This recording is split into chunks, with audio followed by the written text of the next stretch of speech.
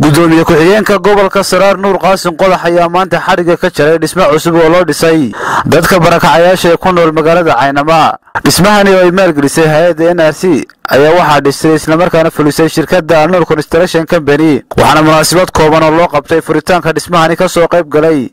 Maamulka gobolka saraar mas'uuliyiin ka socotay hay'adda qaxoontiga iyo barakacayaasha guddida barakacayaasha magaalada caynaba iyo mas'uuliyiin kale.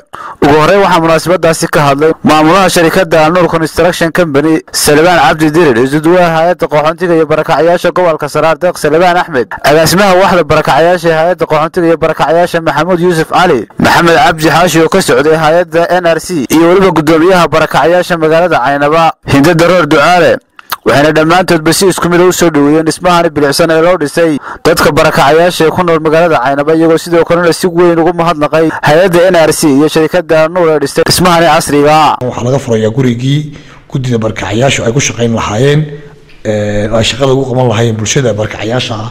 Baa halkan laga furayaa oo la isugu yimi xidwareejintiisii halkan iminka aynu joognaa waxa weeye xafiiskii barakacayaasha waxaa idiin dhistay waad garanaysaan hay'adda la yihahdo n r c.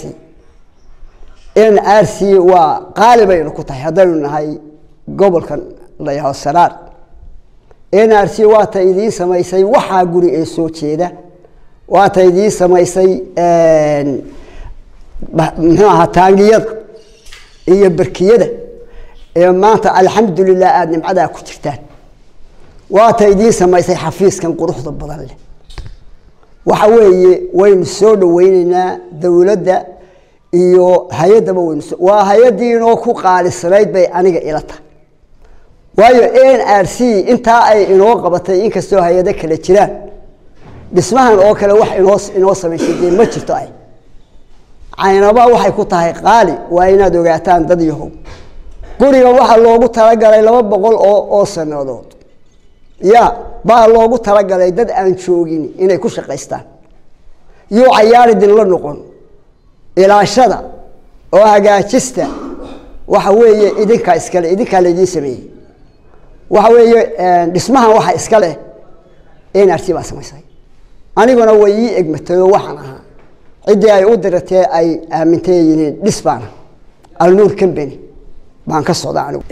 Ujeeddada gurigan loo dhisay horta marka koobaad waxa weeyaan inay guddida barakacyaashu hesho xarun ay warka ku kala qaataan waa qodobka koobaade guri labaad oo u adeega danaha iyagu leeyihiin maadaama dad barakacyaalo fara badan degan yihiin waxay inta badan noqonaysa in banaanada lagu kulmo ama inta dadka la kaxeeyo la geeyo holdheelo taasi caqabad weyn bay ahayd.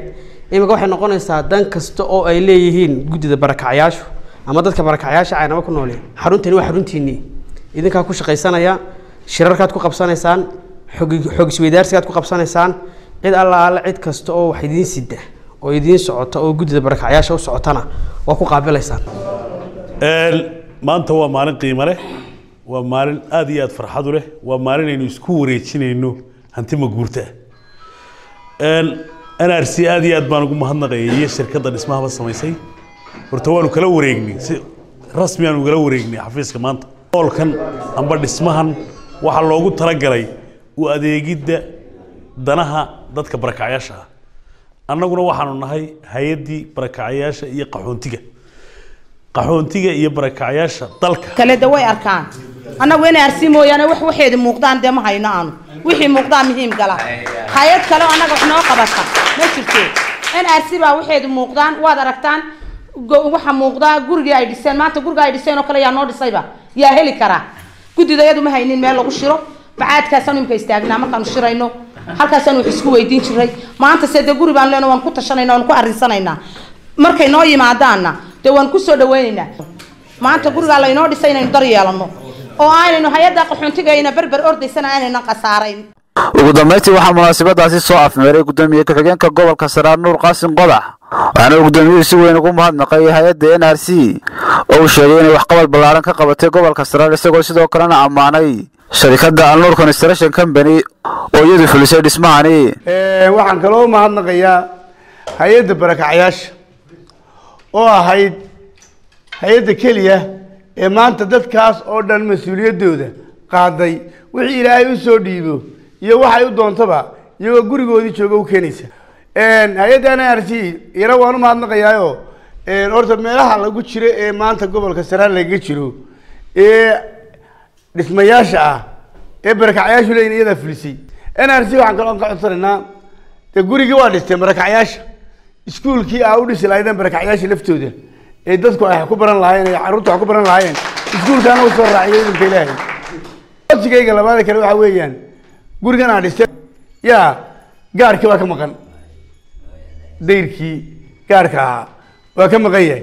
Kaana idamka ilaahay waydi ka sugaynaa si kastaba ha ahaatee sharikadda nuur construction company oo iyadu fulisay dhismahani ayaa waxa ay horey uga hirgelisay gobolka saraar. Dhismayaal kala duwan ay ka mid yihiin xarunta maamulka gobolka saraar saldhigga dhexe ee magaalada caynaba xabsiga weyn ee magaalada caynaba maxkamadda gobol degme ee gobolka saraar saldhigga weyn ee degmada oog iyo weliba dhismayaal kale oo bilicsan. Salebaan cilmi siciid salebaan kiiko wararka ariel t v caynaba